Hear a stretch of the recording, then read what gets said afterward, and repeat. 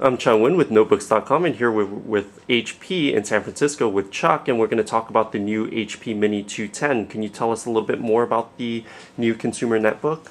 Sure, this is Chuck Shawn with Consumer Notebooks at HP. So we have here is our brand new line of mini notebooks. You can see many of the design elements are borrowed from our larger DV series of, of, of products. With our kind of swoop back and, and, and rear portion. Comes in many different colors. You notice the color now is on the A cover as well as, well as bringing into the C cover and even onto the bottom of the unit. You can see the six cell battery which gives nearly 10 hours of battery life is nicely integrated and streamlined into a very small form factor yet still gives it a very sleek design even with a fairly large battery. Also new for the minis this time is Beats audio we've carried down from our larger notebooks into the minis.